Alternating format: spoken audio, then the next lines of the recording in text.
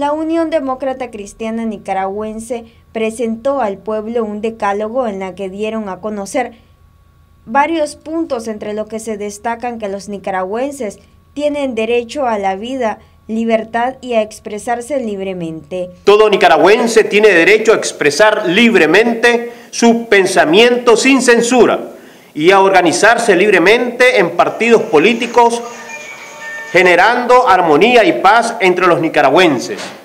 La UDC respeta las normas de convivencia democrática y la moral.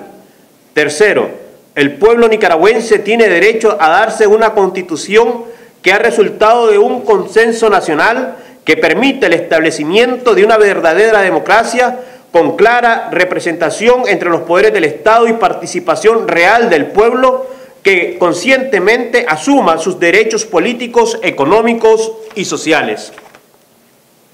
Todo nicaragüense dentro y fuera del país tiene derecho a elegir a sus gobernantes y a ser elegido a través de un sistema confiable que garantice los resultados de elecciones libres, secretas y observadas nacional e internacionalmente.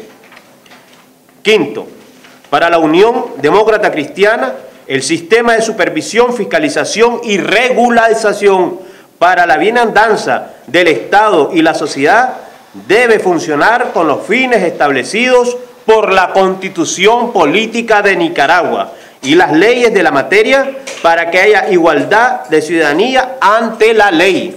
Los integrantes afirman que es necesario un plan de gobierno. Hay que formular un proyecto con visión de nación donde nosotros proponemos que estos puntos sean vistos por lo menos por la oposición para luego decir o decidir quién va a ser el candidato que va a llevar a cabo un proyecto con visión de nación. Les recuerdo que en el 90 en la 1, seis meses antes de las elecciones, se formó la 1 con un proyecto con visión de nación y después se eligió el candidato.